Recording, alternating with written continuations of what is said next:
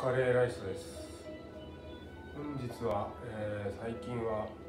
レコードも買いに行けてないんで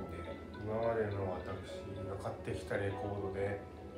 思い出のレコードというものを紹介したいと思います。1枚目が榊原郁恵さんの「ラブリーポップで」これは郁恵さんは私は最近好きで何枚も買って聴いてますけどこれが一番好きですね。セカンドアルバムなんですけどこいつの中に入っている曲っていうのがちょっと気象天外で当時のアイドルの方のはっちゃけぶりであったりなんかこのおぞろおぞろしい感じがこうギュッと凝縮されてる感じでとてもかっこいいんだけど郁恵さんはこうかわいい。ちょっと前に再発されて、えー3枚アルバムレコード買ったうちの一つでこれ私大学生の時に寮体育寮っていうのに入っていて酒を飲みまくって深夜に寮にこそっと戻ってきて先輩が横で寝てる。で起こさないように、このハイローズのアルバムをイヤホンで凄まじ爆音で聴いて気持ちいいなって言って寝てた思いがあってこの1曲目のゴーンの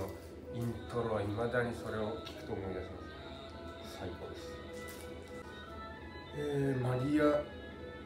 テレサのテレサのこれあるのアルバムなんですけどこれ私、えー、と旅行でアルゼンチンのブアノスアイレスに行ってそこはまあ下北みたいなちょっと雑貨屋があったりいろんなちっちゃい、え古着屋があったりいっぱいひしめてるところでそこにレコード屋もいっぱいあってこいつがあったんですけどうんね南米のこうおおらかさと優しさの中のあと広大さっていうのがねギュッと詰まっててかっこいいです。ジャケットもかわいいです。えーこれ後ろ指さされ組ですねこれこの当時、まあ、アイドル系のもの聖子ちゃんとかもさっきの郁恵さんも好きですけどこの人たちのポップさとちょっとふざけてる感じの中にも結構こだわりが入ってるようなのがあったりこのジャケットもクソみたいなホラージュで、ちょうどいいですね。僕はこの辺りが。好きで208分さんもこの辺り最近聴いてるっていう人でクリームです。ねクリームは、えー、と最初自分はクラプトンから入ってそこからこっちに行ったんですけど曲数はこれえー、とフルアルバムですけど6曲しか入ってなくて1曲1曲長いんですがこのロックのこの創造しさの中にぐっとあのエッセンスがこうふんだんに入ってるというかこうロックの醍醐味みたいなものがここに全部入ってるというか大好きですねこういうロックの音これ一番最近買った新譜のレコードで曽我部源一さんの「旧市街から5秒1.0」っていう B 面集めたレコードですね。これ最初聞いた時あんまなと思ったんですけどなんかもう一回聴きたくなったり。なんかこう日常にこうスーッと入ってくる感じで、うん、ずっと聴いてられるアルバムですねジャケットも部屋のなんか一角みたいな感じでうん、なんかこうずっと手にも取ってたくて、うん、手元に置きたくなるような感じですね、えーこれスティッフ・リトル・フィンガーズですねこれパンク僕好きですけどこの1曲目ですね「スースペクト・デバイス」これの、えーたまりませんね疾走感とこう私はパンクのボーカルの人はしゃがれた枯れた声の人が好きな乾いた声が好きなんですけどこれはもう僕は当てはまって、アナーキーもカバーしました、えーケビン・エアーズの上横がといってこれねまあタイトルからのある通りもう、えー、おもちゃ箱ひっくり返したような。これ私下北に住んでた時に友人がストーリーズというロックのバーに行っていてそのバーを紹介してもらって行った時にデビッド・ブルーっていう人の「ストーリーズ」っていうアルバムから店名を取ったんですけどでいろいろ教えてもらってこれも最高だっていう曲あの店内でもかかってたりしたんですけどもう僕はされましたねでうん。これも新品で買いましたね。下抜けちゃいましたけど。パブリックエネミーですね。これはまあヒップホップ好きですけど。こういう精神性だったりこういう音楽性のものっていうのはやっぱりパンクに通じるしメッセージ性っていうものを音楽で表現するっていうことにおいてこういう人たちがやっぱり好きですね。かっこいい、うん、これは私の友人が福岡にいまして何年か前に遊びに行って一緒にレコード屋とかにも行ったんですけど彼がそれを覚えていて、まあ、こういう状況で全然全く会ってたまに電話するぐらい手紙やり取りするぐらいですけど彼が当時のことを覚えててそのチクロレコードというレコード屋が福岡にあってそこで彼が行って買って僕が好きそうじゃないかっていうところを送ってくれたんですね。正直音楽の内容はそんな好きじゃなくてですけどそういう思い出っていうのがここにあの詰まってこうすごい大事な一枚で最近すごくこう感動っていうのが嬉しかった出来事でしたねこれフォーテッドですねこれエレクトロとかでもこういうようなうんことは僕は大好きでフォーテッドも何回も DJ でもこれもかけた記憶があります自然なんだけどすごくか科学的な電子音が入ってるんだけどこう優しいんだけどなんかこう芯をついてる感じでジャケットの白のシューランクでサーティの GK うん7って多分ピザっぽいジャケットなんないんですけどこれとラフレックというレコード屋さんで買っ山形のラフレックで買ったんですけどこれはあの多分僕の予想なんですけどあこれはハウスなんですけどテックハウスみたいなストア15ノブっていう仙台にいるレコード屋の方が、えー、ラフレックに来てレコードあ DJ をした時に多分その、えー、方が多分ラフレックに中古のこういった系のレコードいっぱい下ろして一気にそれが投下された日があってそこを見計らって僕は買いに行ったんですけど、うん、いやこういう多分ちょっとあのストイックハウスでちょっとストイックな音数少なめの、えー、音だったりするんですけどそういったもの僕好きでこのタイミングでこう投下されてちょっとお得な値段で買えたんですごいこれは。何枚かそれ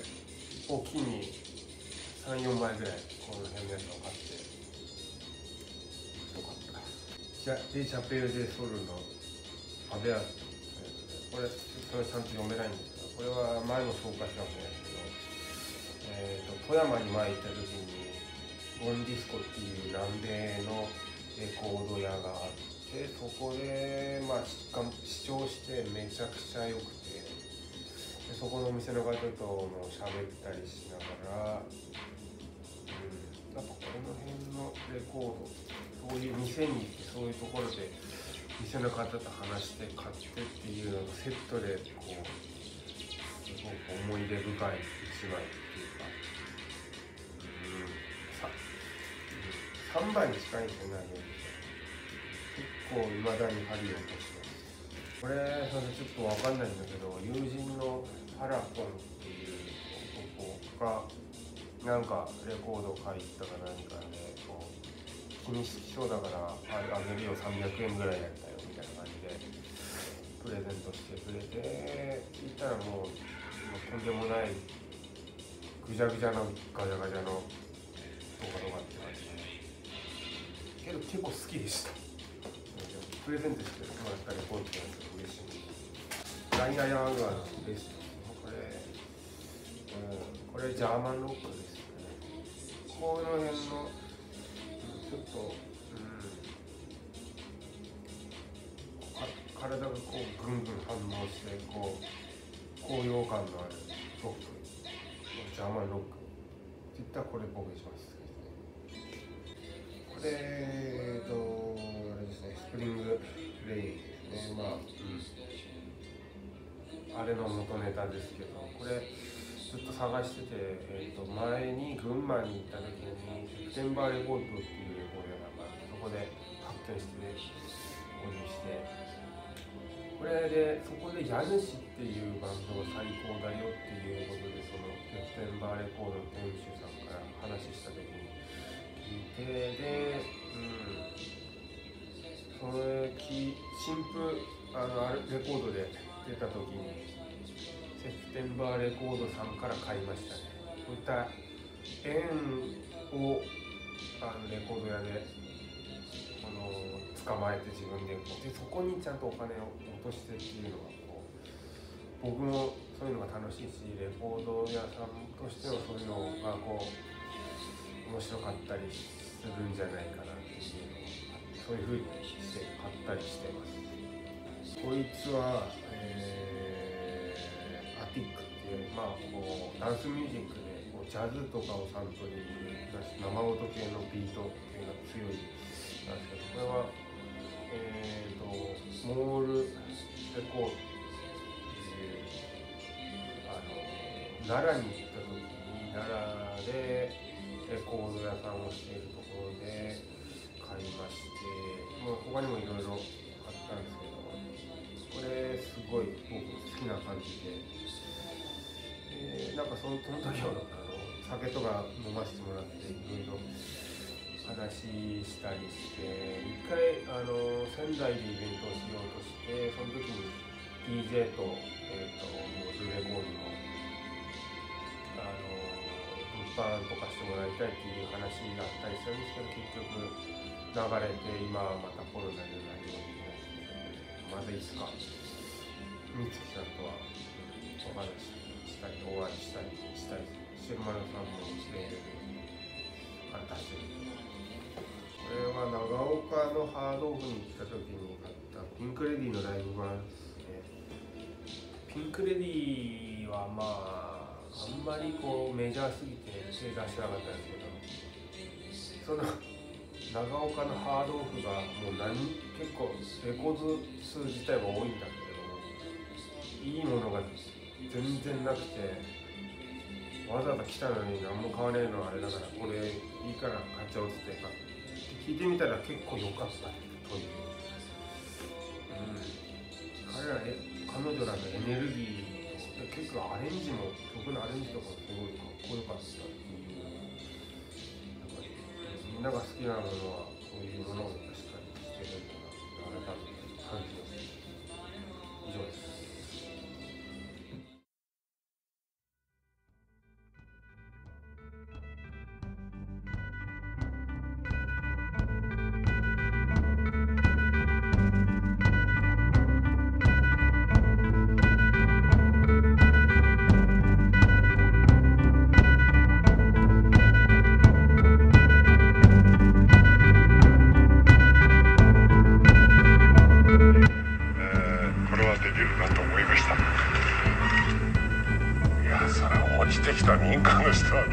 ない仕突然ですもんねまあ、冒険と夢が大きいのはいいんですけれども、ちゃんと計画がどうだったのかなって気がしますね。ですね。まあ、あんなにね、たくさんの方に迷惑かけてないからね。ね